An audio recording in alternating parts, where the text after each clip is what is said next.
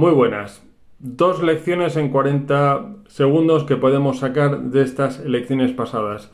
La primera, el PSOE es un partido muy fuerte y el sanchismo gusta mucho a la izquierda y se puede volver a repetir Frankenstein y por otro lado el Partido Popular no acaba de regresar a ser la casa común de la derecha y Vox a pesar de que ha perdido muchos diputados solamente eh, se ha dejado en la gatera un 3% de los votos.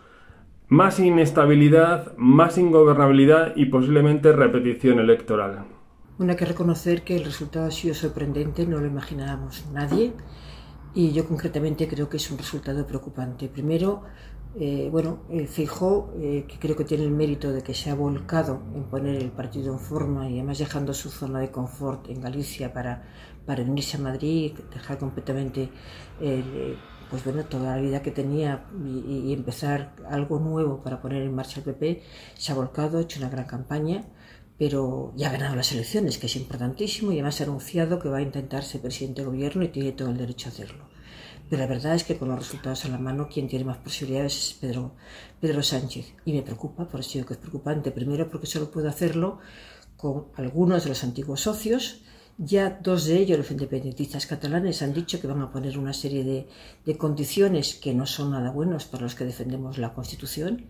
Y además va a salir de aquí, si efectivamente gobierna Pedro Sánchez, un presidente muy ensoberbecido, que va a, poner condiciones todavía mucho más duras a lo que es la vida de los españoles en este momento, con iniciativas y con leyes pues que rompen mucho la sociedad, que ponen en cuestión el futuro de muchas inversiones económicas y que no nos va a facilitar la vida. Por tanto, mm, ojalá eh, se pueda hacer un gobierno que dé estabilidad a España, pero en este momento la verdad es que mm, yo me siento, si no Mm, preocupada o desolada, sí preocupada por el futuro que nos espera. No hay que vender la piel del oso antes de cazarlo.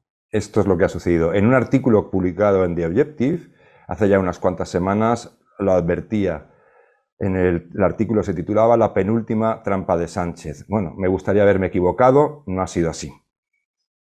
Para mí, el principal error estratégico de esta campaña por parte del Partido Popular ha sido darle pie a la idea fuerza fundamental con la que ha estado haciendo la campaña el Partido Socialista y Pedro Sánchez, el peligro de la extrema derecha. Mm, el PP se ha empeñado en convencer a los votantes en que él no iba a pactar ni iba a gobernar con Vox, que preferiría hacerlo con el PSOE. Cuanto más ha insistido el Partido Popular en alejarse de esa posible alianza, más ha cargado de razones la idea fundamental con la que yo creo que Pedro Sánchez ha conseguido evitar el derrumbe del Partido Socialista, la extrema derecha. En lugar de normalizar, en lugar de estigmatizar a Vox, el PP le ha hecho el trabajo sucio a Sánchez. El resultado a la vista está.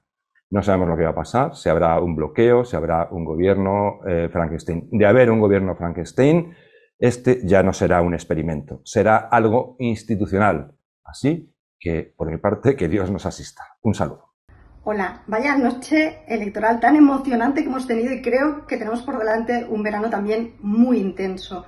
Porque si Pedro Sánchez fuera un hombre de Estado y no el Pedro Sánchez del no es no, no estaríamos en esta situación de bloqueo, simplemente dejaría gobernar a la lista más votada. Es evidente que eso no va a ser el caso, con lo cual las dos opciones más probables que yo veo en este momento es o que el PP intente convencer a diferentes actores políticos para que lo apoyen en la investidura o ir a otras elecciones, que creo que es lo que quiere Pedro Sánchez. Dado lo ajustado de los resultados de las elecciones, es difícil hacer predicciones sobre lo que va a pasar. Lo más probable es que el señor Pedro Sánchez logre formar gobierno o que vayamos a unas nuevas elecciones. A mí me divierte, por aportar un poco de humor a esta situación tan extraña, pensar que a lo mejor la gobernabilidad de España puede llegar a depender del señor Puigdemont, el fugado de Waterloo, con sus siete representantes de Junts per Cataluña, que es un partido poco dispuesto a pactar con nadie, nada que no sea la independencia de Cataluña, puede ser los que decidan quién va a gobernar España. Sorpresa y tristeza respecto al resultado electoral. Era imprevisible eh, que eh, no se hundiera precisamente el gobierno social comunista después eh, de los resultados económicos y sociales que se han producido como consecuencia de su gobierno. Sin embargo, estamos en una situación enormemente complicada, con un prácticamente bloqueo político, en un momento especialmente delicado y trascendental para la sociedad española en su conjunto, pero sobre todo para la economía. Es necesario empezar a recortar el gasto. Es necesario reducir la presión fiscal, llevar a cabo reformas importantes en el mercado laboral, en los mercados de bienes y servicios. Y sin embargo, en este momento, un gobierno en funciones que además puede prolongar la situación hasta eh, noviembre aproximadamente, porque no es descartable que se vuelvan a repetir las elecciones, es el escenario menos adecuado precisamente para la situación en la que las enfrentamos. Y desde luego estoy seguro que se va a resentir la prima de riesgo de la economía española y se va a resentir clarísimamente la inversión, tanto nacional eh, como extranjera. Es verdad que se puede dar todavía algunas circunstancias que pueden llevar a un gobierno de fijo. Yo recuerdo perfectamente aquella noche de 1996 en la que el Partido Popular ganó las elecciones, pero de una manera muy ajustada como en la actualidad.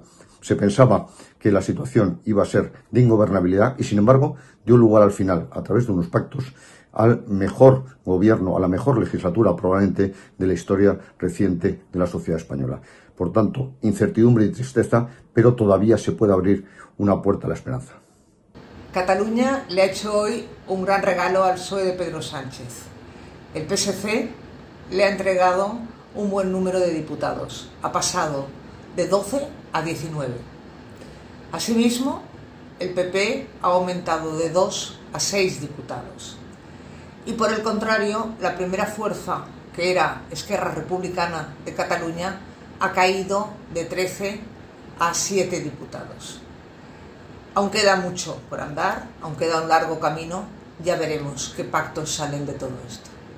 Pedro Sánchez vuelve a reeditar su manual de resistencia y aguanta gracias a esa abultada victoria que ha obtenido en Cataluña. Pero quien ha ganado las elecciones ha sido el Partido Popular. Lo que pasa es que no con los suficientes eh, diputados para poder gobernar España, sobre todo debido al miedo que ha habido en estas elecciones a la ultraderecha de Vox.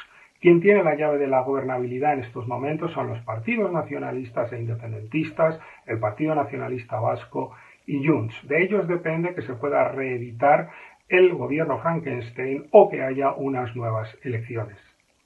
Las elecciones de hoy arrojan un resultado con una gran incertidumbre. Por un lado, el PP ha ganado claramente las elecciones con casi 15 escaños de ventaja sobre el PSOE, pero no parece que Sánchez vaya a dejar gobernar a la lista más votada. En este punto solo queda o que Sánchez reedite la coalición Frankenstein, para lo cual necesitará también unir a Puigdemont, o que el PNV decida apartarse de la misma, ya que Bildu está pisando los talones y tiene elecciones autonómicas en 2024, y fuerce una repetición de elecciones, ya que no parece que el PNV vaya a apoyar a Feijóo junto con Vox, UPN y Coalición Canaria, que sí que permitiría obtener mayoría absoluta. Por tanto, incertidumbre total.